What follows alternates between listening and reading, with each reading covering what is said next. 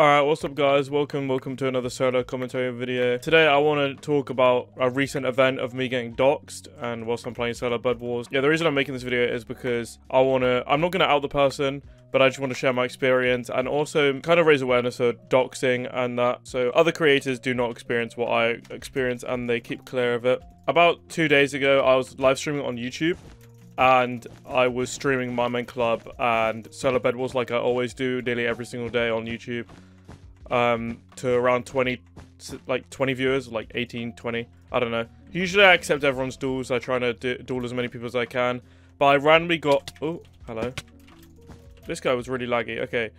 So yeah, I, as I was saying, I, I normally try and duel as many viewers as I can, try and duel everyone so it's fair. But I get this duel request from this player or this person that has literally made a Minecraft account my first and second name. So already I was really on edge. Um, it made me feel really shit in the stream um, and like kind of want to close stream, but I didn't. I kept going. Are you gonna die?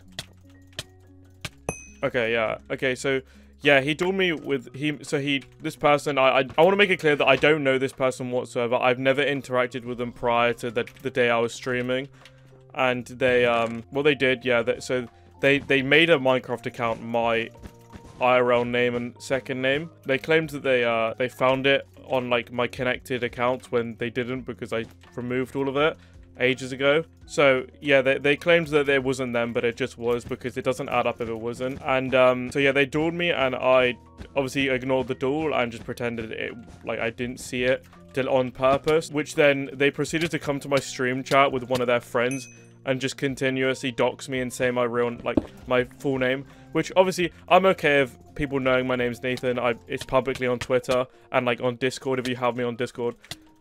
Or in my Discord server.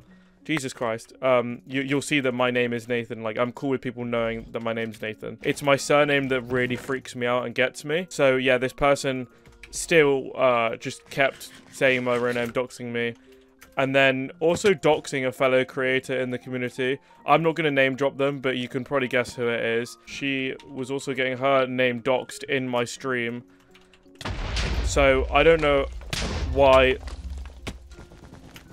where the connection is, but it really was out of line. I tried to, my, me and my moderators tried to delete as much of the messages we can. But then, then this person decided to join my Discord server, and this is kind of where it all changes. They joined my Discord server and like started acting like all nice and friendly, which like was uh, okay, I guess okay at the time. I didn't also see it because I was streaming obviously, so they joined it when I was live, and I don't really tab into my Discord when I'm live. I just focus on the game and my chat. So yeah, th there was a. Oh, I won the game. Okay, I'm back in another game, but as I was saying, they so I don't really check my Discord Discord server to see who's joining that. I'm because uh, I'm mid game and I'm like trying to play the game and have fun.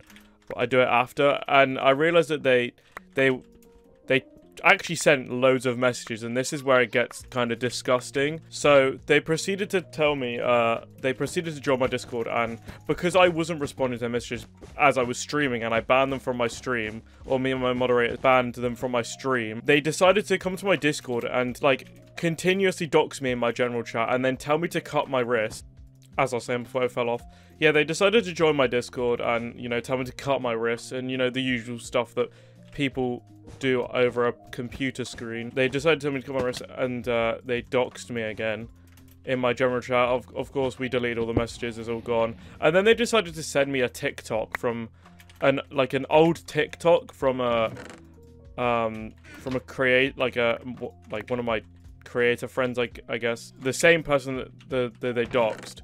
They sent like TikTok videos of hers from years ago in my general and it's just like ridiculously weird and creepy. I don't know whether this person found her TikTok or like hacked her iCloud or something because them videos were so old. Like, and even I know that, and I, I don't know anything about it, but I can just tell that they're so old.